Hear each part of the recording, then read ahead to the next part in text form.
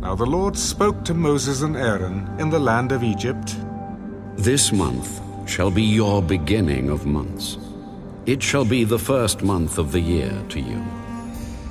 Speak to all the congregation of Israel, saying, On the tenth of this month, every man shall take for himself a lamb, according to the house of his father, a lamb for a household. And if the household is too small for the lamb, let him and his neighbor next to his house take it according to the number of the persons.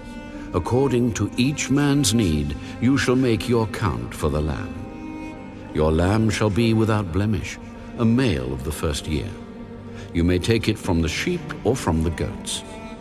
Now you shall keep it until the fourteenth day of the same month. Then the whole assembly of the congregation of Israel shall kill it at twilight. And they shall take some of the blood and put it on the two doorposts and on the lintel of the houses where they eat it. Then they shall eat the flesh on that night, roasted in fire, with unleavened bread, and with bitter herbs they shall eat it. Do not eat it raw, nor boiled at all with water, but roasted in fire, its head with its legs and its entrails. You shall let none of it remain until morning, and what remains of it until morning you shall burn with fire. And thus you shall eat it, with a belt on your waist, your sandals on your feet, and your staff in your hand. So you shall eat it in haste. It is the Lord's Passover. For I will pass through the land of Egypt on that night, and will strike all the firstborn in the land of Egypt, both man and beast. And against all the gods of Egypt I will execute judgment. I am the Lord. Now the blood shall be a sign for you on the houses where you are. And when I see the blood, I will pass over you, and the plague shall not be on you to destroy you when I strike the land of Egypt. So this day shall be to you a memorial, and you shall keep it as a feast to the Lord throughout your generations. You shall keep it as a feast by an everlasting ordinance. Seven days you shall eat unleavened bread. On the first day you shall remove leaven from your houses. For whoever eats leavened bread from the first day until the seventh day, that person shall be cut off from Israel. On the first day there shall be a holy convocation, and on the seventh day there shall be a holy convocation for you. No manner of work shall be done on them but that which everyone must eat, that only may be prepared by you. So you shall observe the feast of unleavened bread, for on this same day I will have brought your armies out of the land of Egypt. Therefore you shall observe this day throughout your generations as an everlasting ordinance. In the first month, on the fourteenth day of the month at evening, you shall eat unleavened bread until the twenty first day of the month at evening. For seven days no leaven shall be found in your houses, since whoever eats what is leavened, that same person shall be cut off from the congregation of Israel, whether he is a stranger or a native of the land. You shall eat nothing leavened. In all your dwellings you shall eat unleavened bread.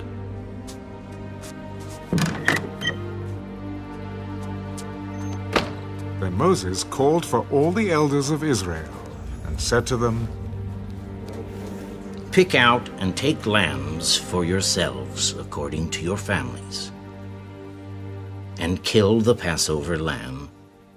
And you shall take a bunch of hyssop, dip it in the blood that is in the basin,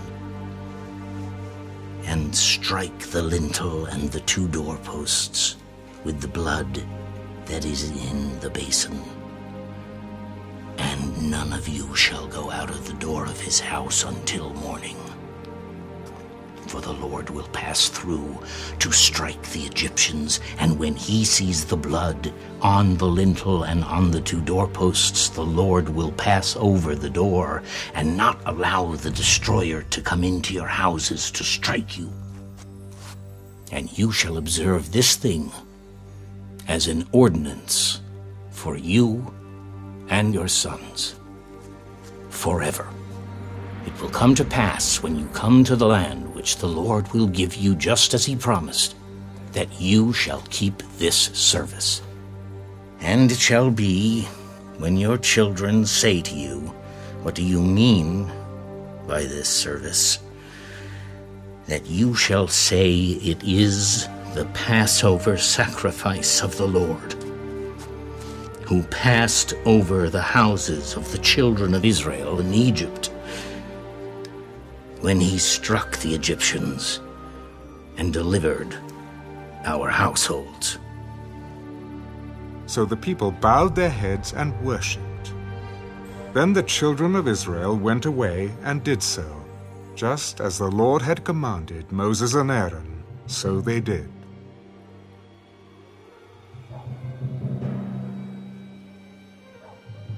It came to pass at midnight that the Lord struck all the firstborn in the land of Egypt, from the firstborn of Pharaoh who sat on his throne, to the firstborn of the captive who was in the dungeon, and all the firstborn of livestock.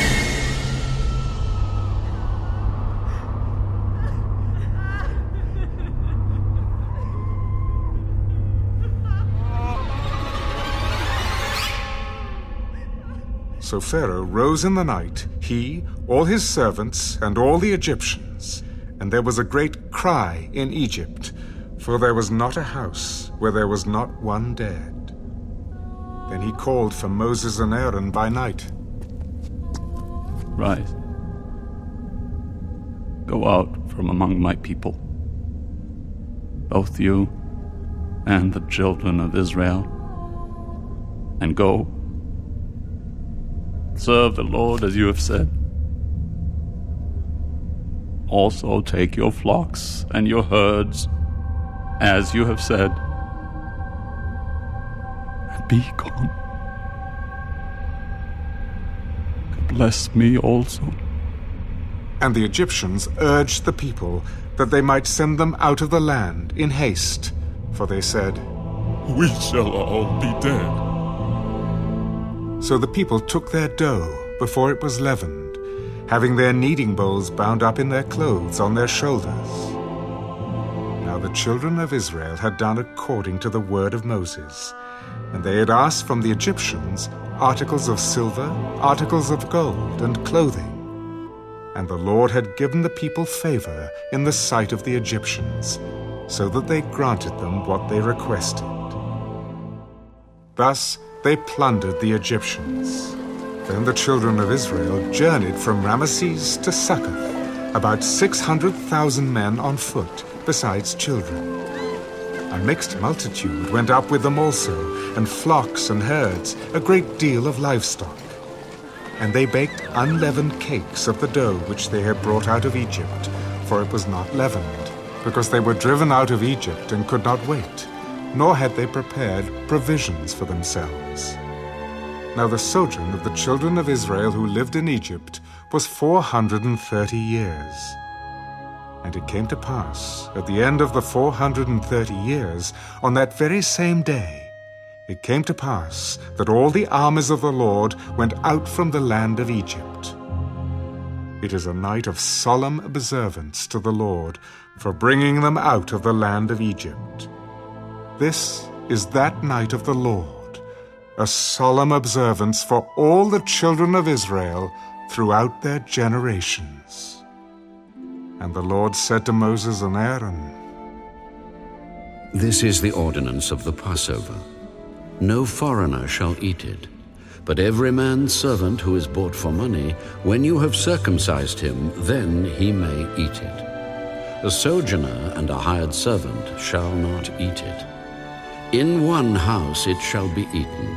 You shall not carry any of the flesh outside the house, nor shall you break one of its bones. All the congregation of Israel shall keep it. And when a stranger dwells with you and wants to keep the Passover to the Lord, let all his males be circumcised, and then let him come near and keep it. And he shall be as a native of the land. For no uncircumcised person shall eat it.